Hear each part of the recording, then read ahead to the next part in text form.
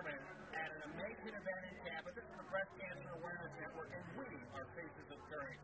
I'm with Lynn Marie Bolte. Lynn Marie, this is an amazing day, isn't it? It's an awesome day. We are so happy to be here. We've been covering it for months. It's the Boobalicious All the models are cancer survivors, and we're looking for fun, excitement, and the big reason why we're here is to celebrate these models and their courage and their beauty after cancer. Speaking of the models, they have an amazing story.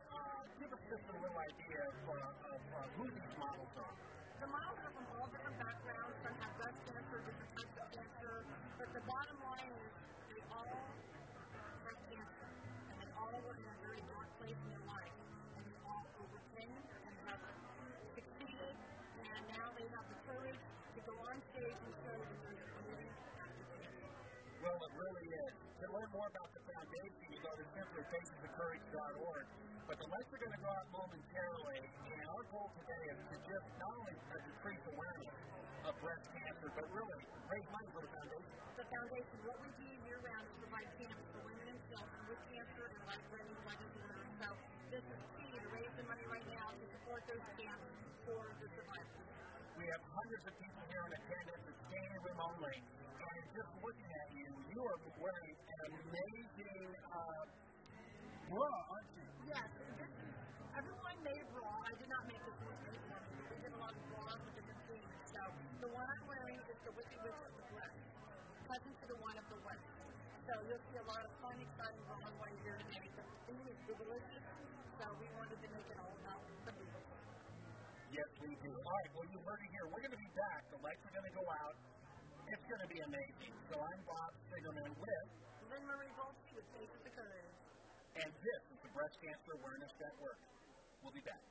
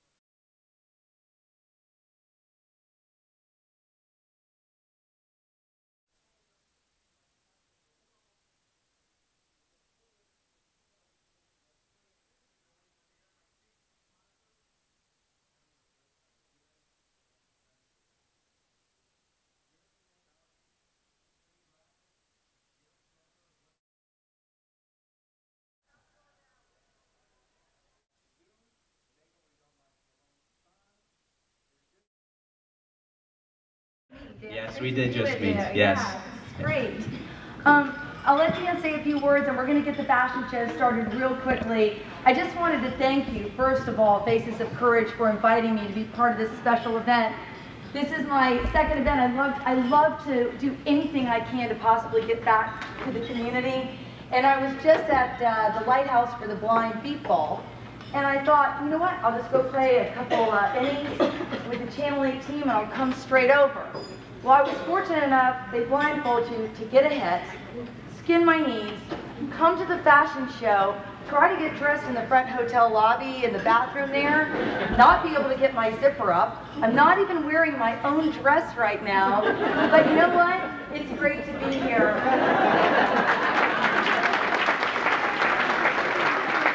It's especially great to be here for me because um, sadly I do have a history of uh, cancer in my family. I lost my uncle, my dad is, is a survivor, and my mom is a survivor.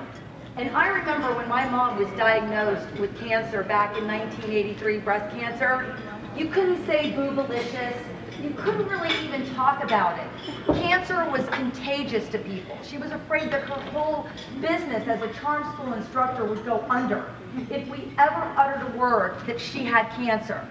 But you know what? She was one of the first women in the state of Florida to have a lumpectomy. She's a survivor. She's a volunteer. She wanted to be here today, but she was doing another event herself and, and volunteering for the community. So I just wanted to say this is really important to me because I know I would not be where I am today without my mother guiding me along the way. And I know some young daughters are not that fortunate. So every day, anybody affiliated with a really good cancer group, trying to help cancer patients, trying to help survivors, I just want you to know I will always say yes. So I truly appreciate the invitation today. And in honor of my mother, I say thanks again for having me. And we'll get this uh, fashion show underway. Let's get it underway. All right.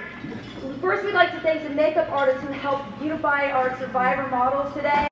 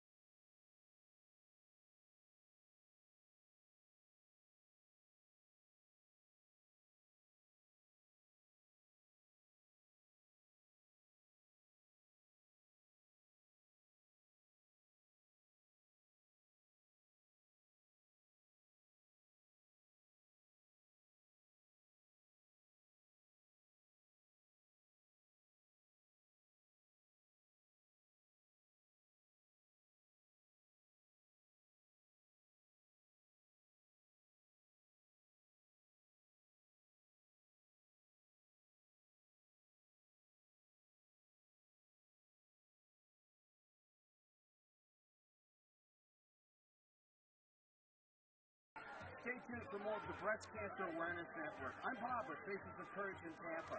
See you next time. Back to you in the studio.